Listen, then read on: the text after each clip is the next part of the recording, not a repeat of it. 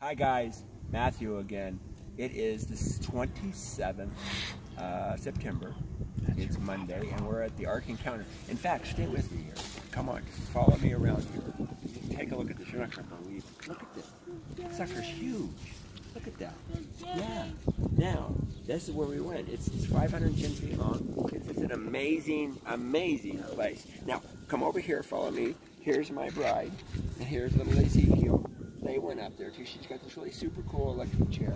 So that's it. Here's, here's my other little grandson Enoch, and he went up there too. His lovely mom, my daughter-in-law, Tatiana. She's not feeling well.